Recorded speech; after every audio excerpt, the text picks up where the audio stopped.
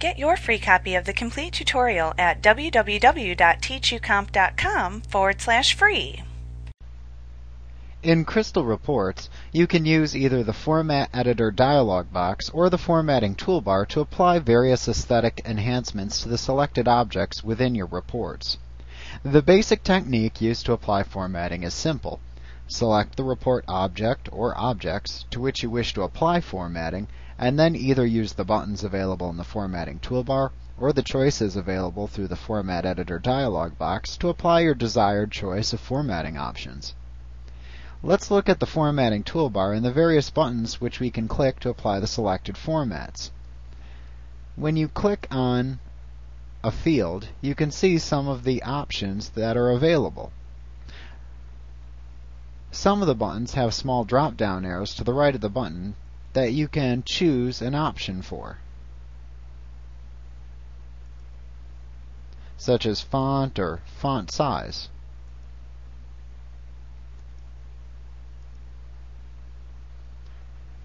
For example, also, clicking the small drop-down arrow to the right of font color allows you to specify a different font color if desired.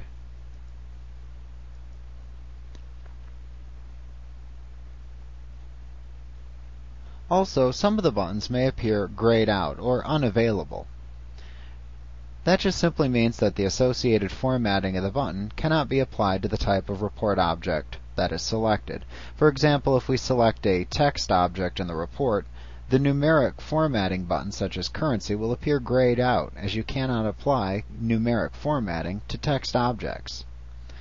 Now the formatting toolbar is designed to allow quick access to some of the most commonly used formatting options available.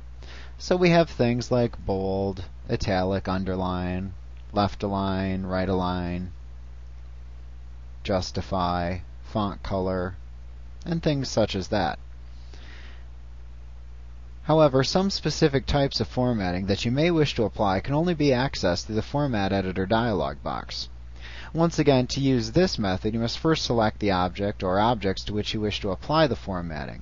Then either right-click on the selected object or objects and choose the command that begins with the word format and then the name of the object, such as format text in this case, or format field in this case.